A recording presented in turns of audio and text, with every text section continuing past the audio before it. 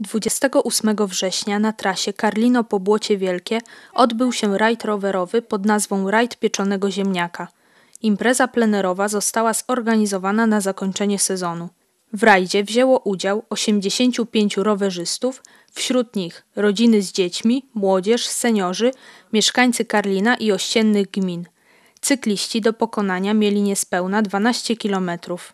No drugi raz rowerowy, przyznam szczerze. Cieszymy się bardzo właśnie, że gmina Karlino, że burmistrz nas tutaj organizuje takie, takie wycieczki, takie rajdy, taki właśnie sposób na spędzanie wolnego czasu w sobotę.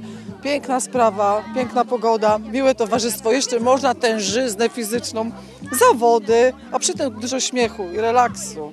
Na uczestników imprezy, jak również na mieszkańców sołectwa i wszystkich chętnych czekał piknik integracyjny.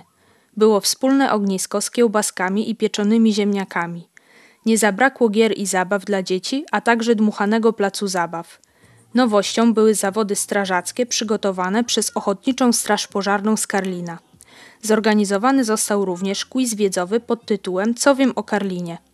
Podczas imprezy rozstrzygnięty został konkurs pod hasłem Rodzinna Roweriada.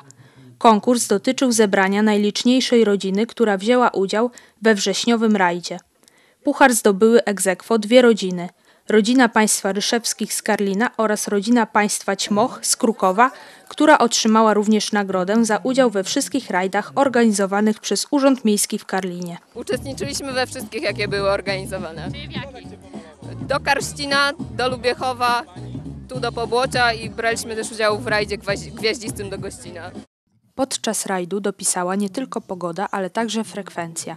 Budujący jest fakt, że w tego typu imprezach biorą udział całe rodziny. To nie tylko forma wypoczynku, ale przede wszystkim wspólna zabawa i integracja.